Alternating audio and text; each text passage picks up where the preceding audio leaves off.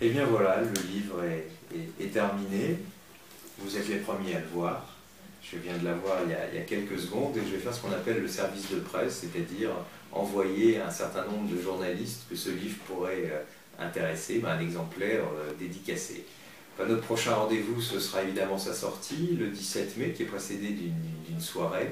Et puis euh, la première dédicace, ce sera au mot à la bouche, et ce sera le, le 19 mai euh, à partir de, euh, de 19h. Et j'espère vous retrouver nombreux.